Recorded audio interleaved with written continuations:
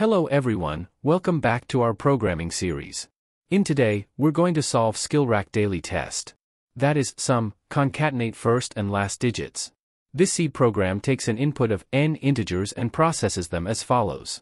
It defines a function remove first, that takes an integer and removes its first digit.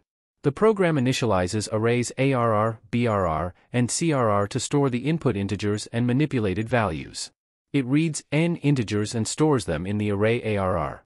The main logic involves manipulating the integers based on the given conditions.